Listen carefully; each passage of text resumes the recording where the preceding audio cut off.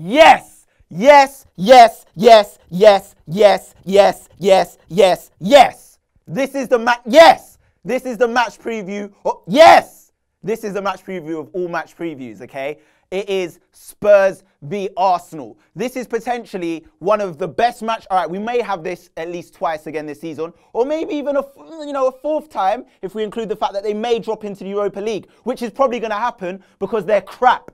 But anyway, we have them in the Capital One Cup at White Hart Lane, and this is going to be a battle. This isn't a football match. This is warfare.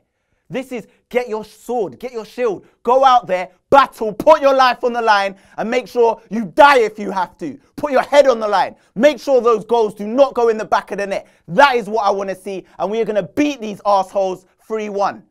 That's what's going to happen. I didn't want to give them a goal.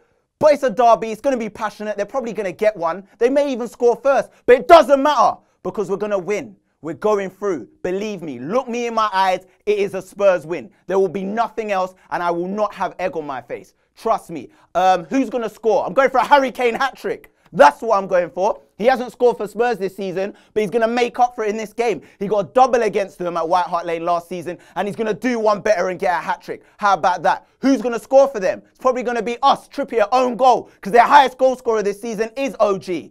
That'll be the score 3 1. Anyway, let's get on to the starting 11. Uh, I'm going to go for Vorm goal, backup keeper.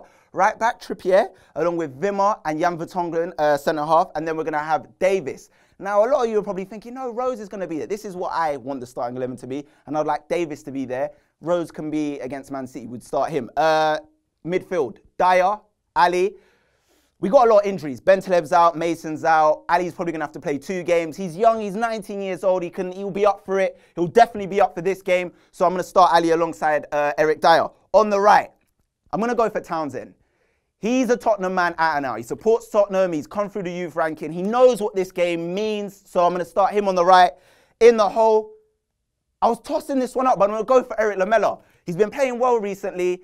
And uh, I don't want to start Eriksen in a game like this. I think we should start Eriksen against Man City. He could come off the bench if we need him in this game, but we're going to put Lamela in the hole. And then on the left, I'm going to go for Chadli. I don't want to see him start in the Premier League. He was awful against Sunderland. He didn't play that well against Crystal Palace. So I want him dropped in the Premier League against Man City. And I want to start him here today tomorrow, should I say? No, when's this going out? Tomorrow, whenever this is going out, we're going to start Chadli um, purely because he scored against Arsenal at the Emirates. So we're going to have Chadli, and then, like I said, up front, Harry Kane, hat trick. That's what we want to see. All right, let's talk about some memories, and there's loads of memories. Let's start with Harry Kane's double, like I said last season. Amazing header, header from the gods, put it in the in the far corner, ran off, and we was in complete euphoria. We can also talk about the fact that in 2008 we beat them 5-1 in the Capital One Cup. but It was probably the Carling Cup back then.